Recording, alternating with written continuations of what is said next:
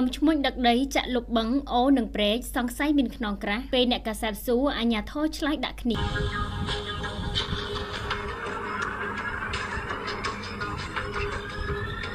ក្រុមឈ្មួញដឹកដីចាក់លុបបឹងនៅតំបន់ចុងកោះសង្ស័យថាមានខ្នងក្រាស់សមត្ថកិច្ចជំនាញនិងអាជ្ញាធរខេត្តឆ្លើយដាក់គ្នាមិនព្រមធ្វើការបកស្រាយការពិតនិងមិនព្រមបញ្ចេញកម្លាំងមកទប់ស្កាត់និងបង្ក្រាបនោះឡើយប្រជាពលរដ្ឋនៅតំបន់នោះបានឲ្យដឹងថាបឹងដែលក្រុមឈ្មួញខាងលើកំពុងតែដឹកដីចាក់លុបនោះមានឈ្មោះថាបឹងតាកងស្ថិតនៅចំណុចទល់មុខផ្សារកំពុងតែសាងសង់ថ្មីលើតំបន់អភិវឌ្ឍចុងកោះស្ថិតនៅក្នុងសង្កាត់ខ្សាមជាប់ព្រំប្រទល់សង្កាត់ផ្សារឆ្នាំងក្រុងកំពង់ឆ្នាំងខេត្តកំពង់ឆ្នាំងសកម្មភាពរជនដឹកដីចាក់លុបនៅចំណុចខាងលើនេះត្រូវបានគេដឹងថាមានក្រុមហ៊ុនលក់ផ្ទះល្វែងឈ្មោះថាក្រាំងដីមាសបានដាក់លេខទូរស័ព្ទសម្រាប់ឲ្យអតិថិជនទំនាក់ទំនងទៅលើបដាបានបង្ហាញប្លង់រូបរាងសំណង់និងមានការធានាជាសាធារណៈផ្ដល់ជូននៅប្លង់បំណែកក្បាត់ដីប្លង់រឹងថែមទៀតផងជុំវិញករណីសកម្មភាពចាក់ដីលុបបឹងនេះគឺកំពុងតែអនុវត្តផ្ទុយទាំងស្រុងទៅនឹងច្បាប់ស្ដីពីរដ្ឋបាលជលផលក្នុងមាត្រា98ជំពូក9ដោយបានចែងថាធ្វើទំនប់ឬលុបទន្លេស្ទឹងព្រែកអូ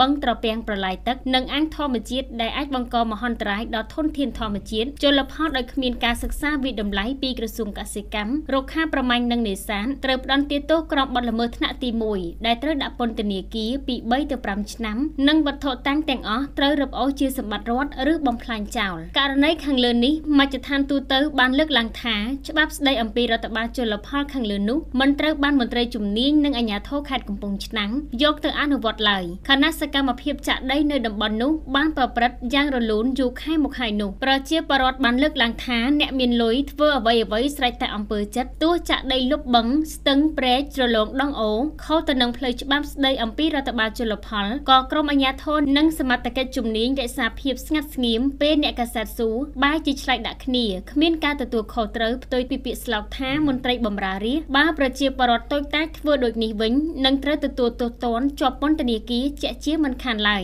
ប្រជាពលរដ្ឋធ្វើស្រែនៅខាងលើបឹងតាកង់នោះបានសម្ដែងនូវការព្រួយបារម្ភយ៉ាងខ្លាំងពេលដែលចាក់ដីលុបបឹងអស់អាចបង្កឲ្យពួកគាត់គ្មានទឹកធ្វើស្រែបង្កបង្កើនផលម្យ៉ាងទៀតបើសិនខាងក្រុមហ៊ុនធ្វើអ្វីអ្វីគ្មានការត្រួតពិនិត្យច្បាស់លាស់បែបនេះបណ្ដាលឲ្យមានការរិះគន់ឬខឹងគោវាយរទេះមិនខានសកម្មភាពរជនដឹកដីចាក់នៅចំណុចខាងលើនេះត្រូវបានគេដឹងថាជារបស់ក្រុមហ៊ុនលក់ផ្ទះល្វែងមួយឈ្មោះថាក្រាំងដីមាសបានដាក់លេខទូរស័ព្ទសម្រាប់ឲ្យអតិថិជនទំនាក់ទំនងនៅលើបដាបានបង្ហាញប្លង់រូបរាងសំណង់និងមានការធានាជាសាធារណៈផ្ដល់ជូននៅប្លង់បំណែកក្បាត់ដីប្លង់រឹងថែមទៀតផងលោកសុនសវណ្ណរិទ្ធអភិបាលរងខេត្តកំពង់ឆ្នាំងបានប្រាប់តាមទូរស័ព្ទកាលពីរសៀលថ្ងៃទី10ខែវិច្ឆិកាឆ្នាំ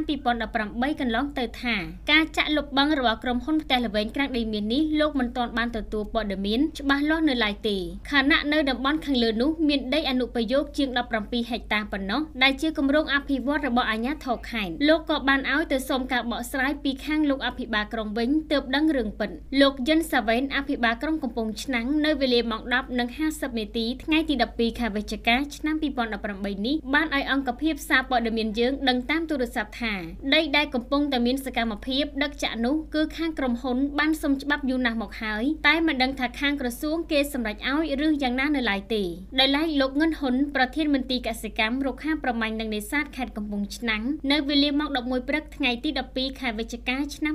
2018នេះបានឲ្យអង្គភាពសារព័ត៌មានក្រាំងមាសយើងដឹងតាមទូរស័ព្ទថាទីតាំងចាក់ដីខាងលើនោះលោកបានបញ្ជាឲ្យគេទៅខាត់ហើយលោកងិនហ៊ុនក៏បានអះអាងឲ្យដឹងបន្ថែមទៀតថាដីនោះគឺគ្មានច្បាប់ទេបើគ្មានអនុប្រយោគនោះគួររំលឹកផងដែរថានៅតំបន់អានកូដីមានអនុប្រយោគដែលអាជ្ញាធរខេត្តធ្វើការអភិវឌ្ឍមានទំហំជាង17ហិកតាតែប៉ុណ្ណោះប៉ុន្តែបច្ចុប្បន្ននេះគេសង្កេតឃើញថាក្រុមឈ្មួញជាច្រើនបានចាក់ដីជាច្រើនរយហិកតាអង្គកុនជាលោលក់ឲ្យប្រជាពលរដ្ឋដោយសេរីយូរឆ្នាំណាស់ទៅហើយខណៈដីនៅតំបន់នោះមិនមានអនុប្រយោគស្របច្បាប់នោះទេ